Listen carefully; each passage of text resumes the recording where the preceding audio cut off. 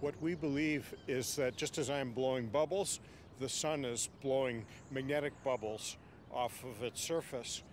When I blow a bubble, if I blow it just a little bit, it expands, but it doesn't break off.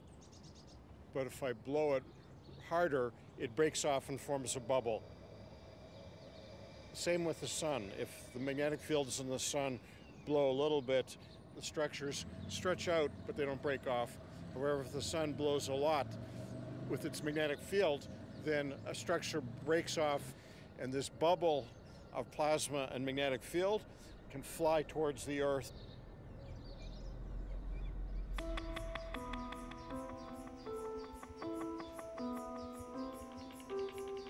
To understand what makes the plasma break off, Paul has built a machine which can do something that sounds impossible create a mini solar storm right here on Earth.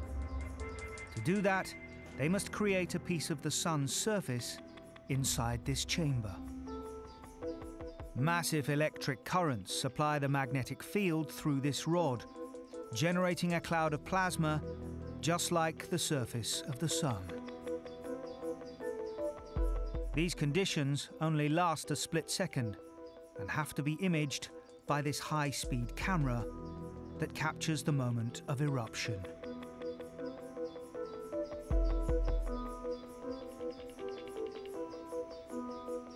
Are you ready to turn on the high voltage? Yep. Okay, let's go for four kilovolts. Okay. Charging. One kilovolt.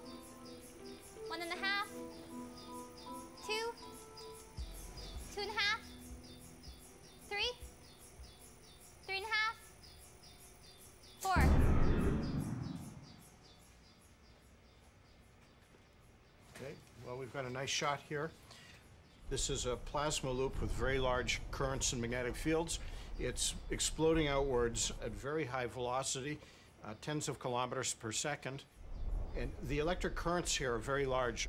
The electric power that we're using of the order of 100 million watts, the sort of power that you would use for running a small city. So here we have an electric current of probably about 50,000 amps going from a top electrode to a bottom electrode.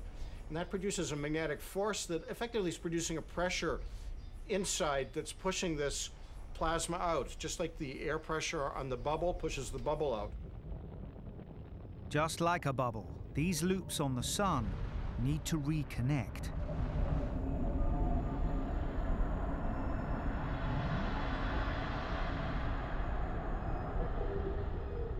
And when it gets pushed out to a certain point, it can break off. That's magnetic reconnection. It's like the bubble popping. And the popping here isn't a pop like the sound you hear, it's actually X rays being shot out and energetic particles being shot out. And so what you get is energetic particles, X rays, and the actual plasma can head towards Earth. Plasma can plow into the Earth and wreak havoc